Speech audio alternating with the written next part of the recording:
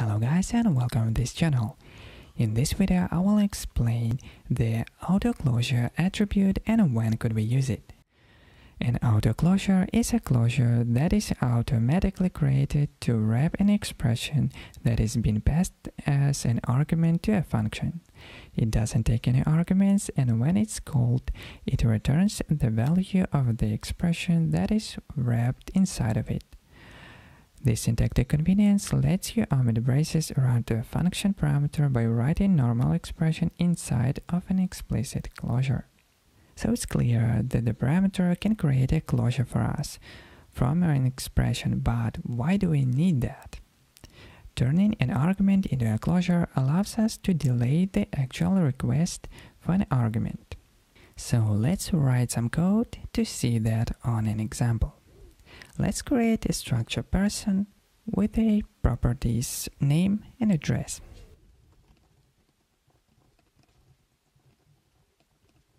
Okay, so that's going to computer property, so we add curly braces and we add print statement, get the address and return statement.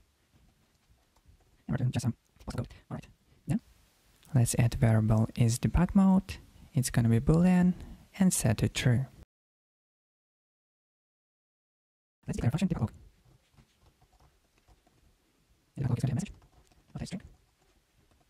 and if debug mode is activated, then we're going to print our debug description. Alright, so now let's create person. With name John and debug log. With a message person and address and try to run it. And here we have getting the address which comes from computer property and debug log which prints like we want it because debug mode is activated. But what if we set debug mode to false and try to run it again?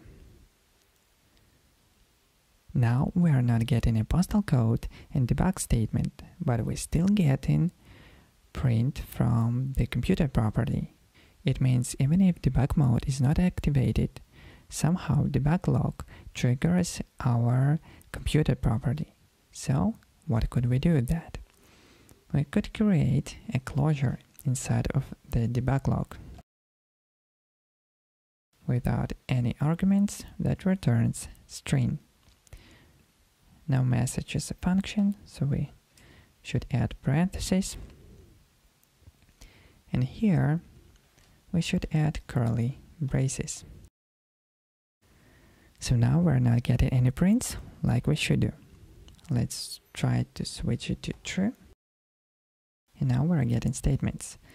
But how can we get rid of those curly braces and print like normal person.address? So here the auto closure attribute comes handy. And now we can get rid of those curly braces.